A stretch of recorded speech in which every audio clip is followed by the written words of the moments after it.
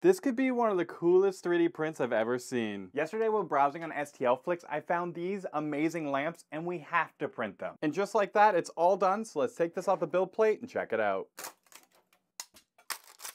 And after removing the supports, now we just need to add the lights. After following the instructions, all I have to do is add this switch right up here and we can check this out. Whoa. And just like that, it's all done and this thing turned out absolutely amazing. Let me know what you guys think in the comments below.